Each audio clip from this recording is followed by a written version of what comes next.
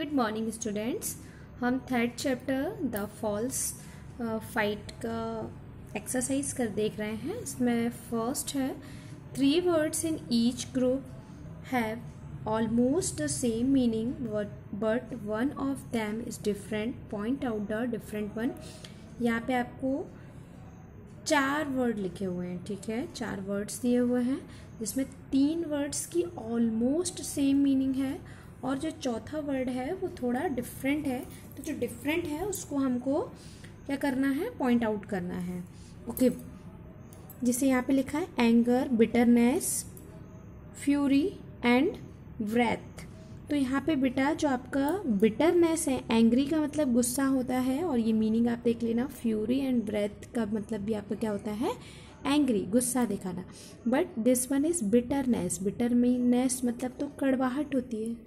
तो it's different okay अब समझ में आ गया होगा ना किस तरीके से पिक करना है? ओके okay, बच्चों सेकंड देखिए.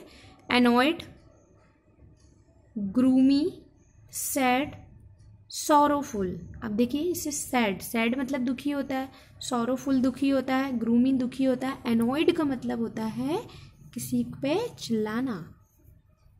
दुख नहीं होता है चिल्लाना होता है ओके थर्ड देखिए. Amiable courteous lenient and polite okay बच्चों पोलाइट है कॉर्टियस एंड एमिबल का मतलब भी होता है उदार होना, लेकिन लैनियंट की मीनिंग आपकी पोलाइट नहीं होती है। Okay next despise disdain scold and scorn.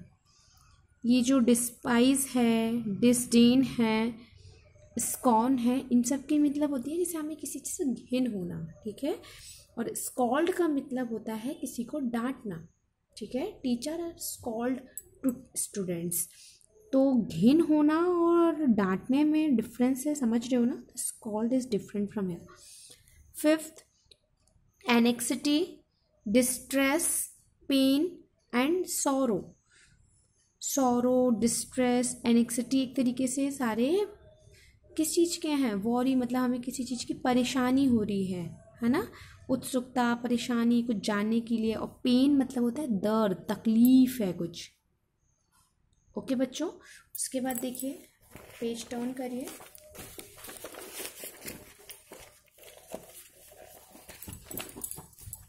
हाँ जी। ये देखिए यहाँ पे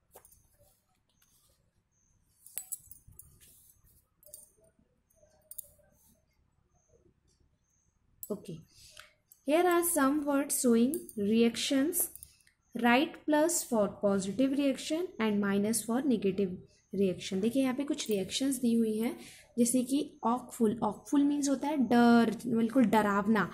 तो ये आपकी कैसी रिएक्शन है? माइनस वाली रिएक्शन है। हमने इसमें माइनस लिख दिया। टेरिफिक टेरिफिक मीन्स डरावनी है। तो इसमें भी हम क्या लिख देंगे? माइनस अमेजिंग अमेजिंग मतलब तो बहुत अच्छी चीज़ होती है तो हम इसमें क्या लिखेंगे? प्लस सुपर भी अपन बोलते हैं ना मतलब अच्छी चीज़ के लिए हम बोलते हैं प्लस टेरिबल टेरिबल का मतलब क्या होता है? ये भी डरावने से रिलेटेड है तो माइनस रिमार्केबल रिमार्केबल मतलब कोई अच्छी चीज़ होती है तो हम रिमार्क करते हैं प्लस कि उसमें क्या अच्छा है। Excellent plus nonsense minus. Okay? किसी को नॉनसेंस बोल दो तो चिढ़ जाते हैं, है ना?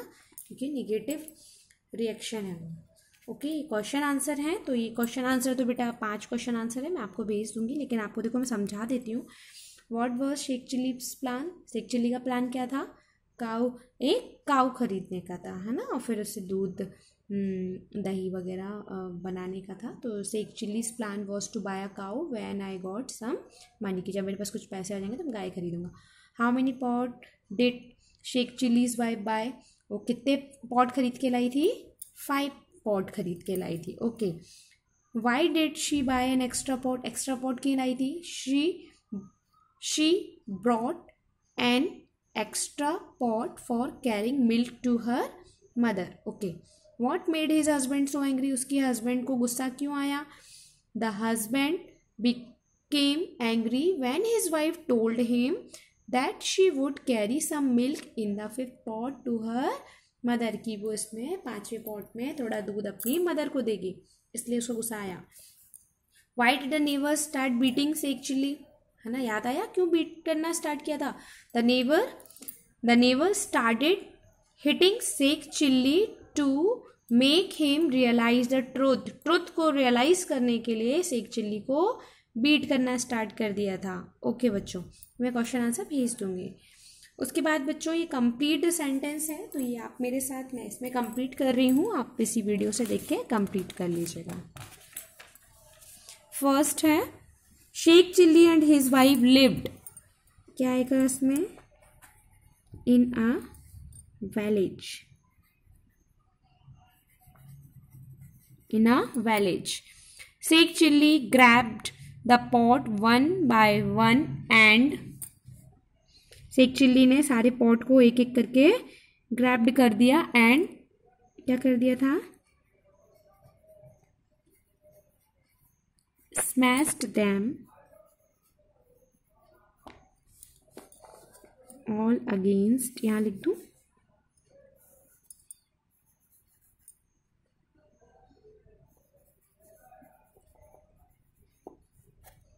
ऑल अगेंस्ट द वॉल ठीक है, ये सेकंड वाले का है, इसके बाद आप ऊपर से लिख लीजिएगा। I work and sweat all days and buy a cow and मैं दिन भर काम करके, पसीने बहा के ये गाय खरीद के लाऊँगा। एंड क्या आएगा यहाँ पे? And you give away the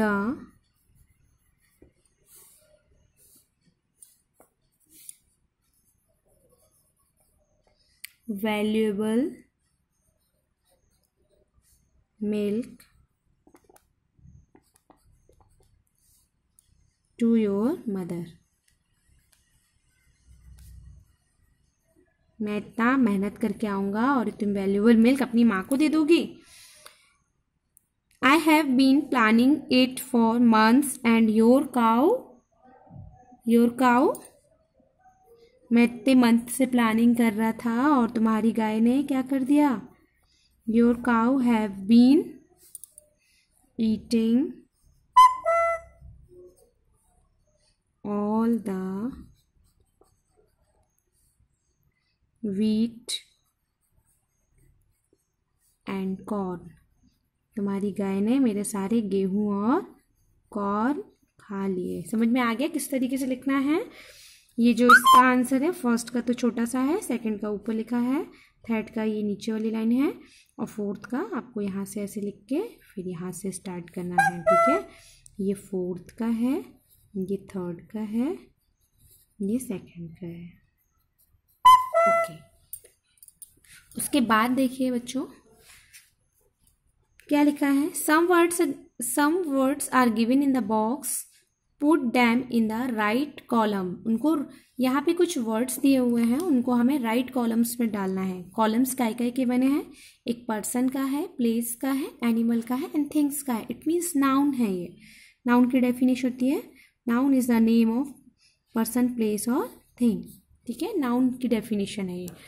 okay okay, तो हमें क्या करना है? आप बताइए। निडल कहाँ जाएगा? निडल जाएगा थिंग में। निडल। बैट। बैट भी इसी में जाएगा। कार। कार भी थिंग है। आगरा। आगरा तो प्लेस लिखा हुआ है। बेंच। बेंच भी इसी में आएगा। ग्रेप्स। ग्रेप्स भी थिंग्स है। Mother Teresa. Mother Teresa. Kitchen kitchen place होता है।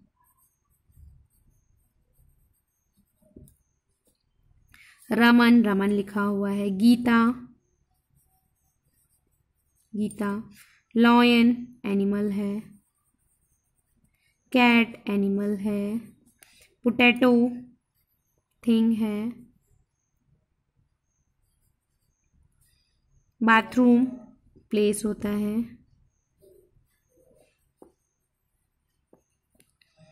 Tomato mango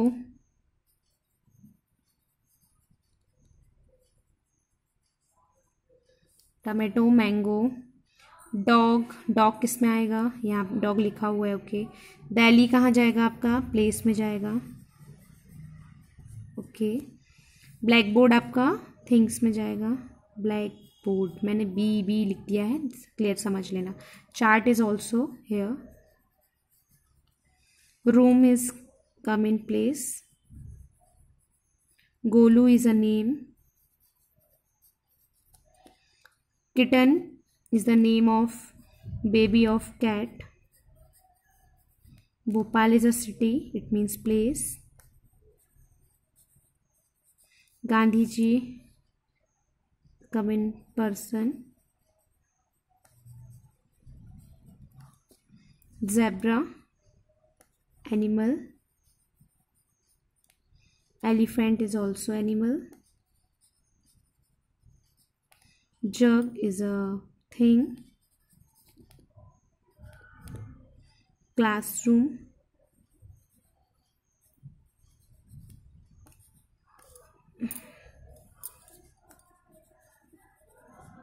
classroom. And last one is tagore. Okay okay, बच्चों नेक्स्ट वीडियो में मैं आपको पेज नंबर सेवनटीन कराऊँगी। यहाँ तक आप कॉपी में कर लीजिए okay thank you so much